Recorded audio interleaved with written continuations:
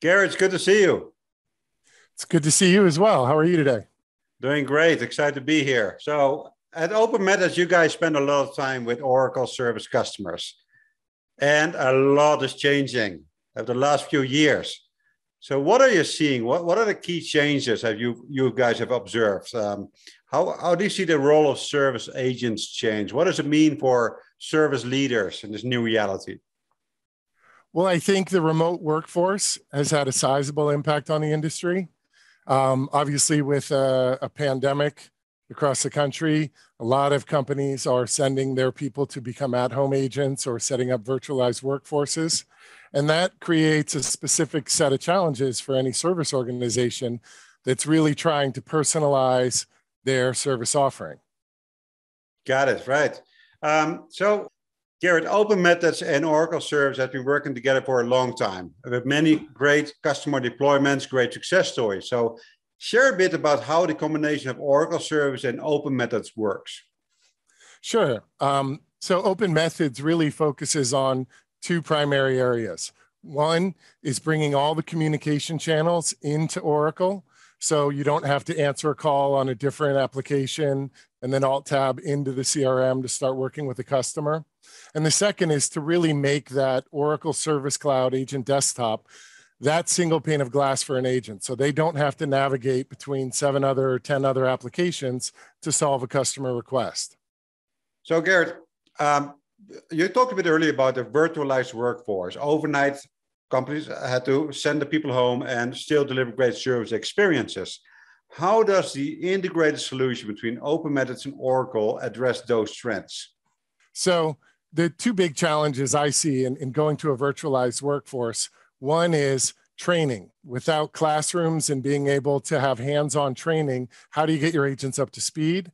And secondly, is uh, around communication. When an agent has an issue, if they're in a call center, they can raise their hand. If they're at home, there's no supervisor to walk over and help them. And those are two areas that we can bring a lot of value. One is really around the UX design and automation. If you think about it, I often ask this to potential uh, customers is how often do you train your customers to use your website? You don't.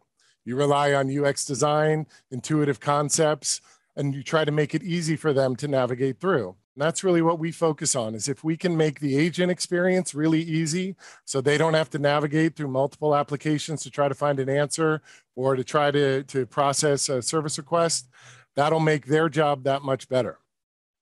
And that's super important, right? Because you know the new generations of agents, they were born with a phone in their hand, so they expect those applications to be as easy as Snapchat. Um, so let's talk a bit about business impact what is the business impact of just doing this well? Everything that you just talked about. Well, doing it well is uh, obviously happy agents, you know, provide much better service. So if we can make their agent experience that much better, reduce handle time, improve occupancy, then not only do we save money, but we, we give a better experience for the end customer as well. So it's really, you know, it's a more efficiently run operation.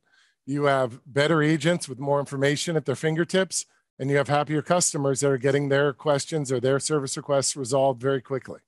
That's awesome. Can, can you give some examples of specific challenges that our customers face that your solution solves?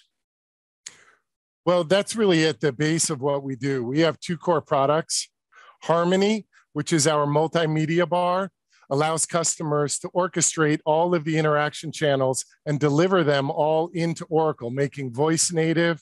If you have a third party SMS like Twilio, we can make that native to Service Cloud. And it allows your workforce management system, which tells you how many people you need to staff with what skill at what time, to have all of the appropriate data so it can make those decisions accurately. The second thing we have is PopFlow, which is really around screen pop and workflow design.